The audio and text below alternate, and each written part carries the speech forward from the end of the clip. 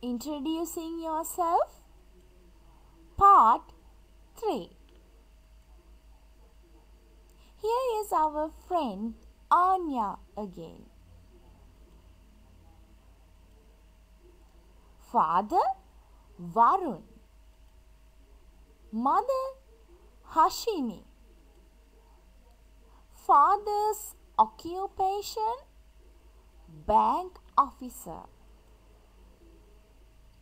Mother's occupation teacher.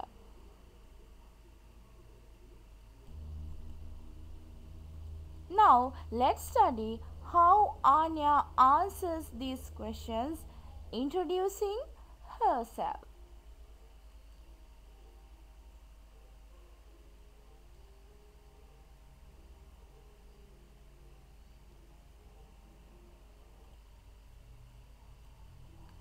Who is your father? Who is your father? My father is Varun. My father is Varun. Who is your mother? Who is your mother? My mother is Hashini. My mother is Hashini.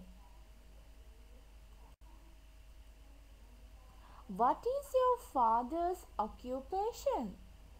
What is your father's occupation? My father is a bank officer. My father is a bank officer. What is your mother's occupation? What is your mother's occupation? My mother is a teacher. My mother is a teacher. Now write your own dialogue using your information. You can follow the questions and answers that we have just discussed.